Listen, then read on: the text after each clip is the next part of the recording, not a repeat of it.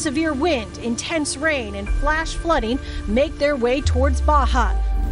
We got to get up there because this hurricane's on our heels. I don't know, man. I'm sure this is the right call. All the marinas are full. All the swell is going to be coming right through this cut.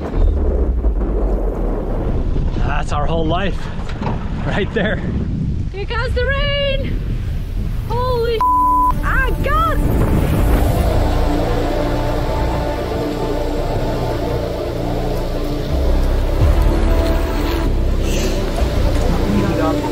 So sad. Imagine how what they're feeling right now. Oh, it's even hard to talk about. The trimaran.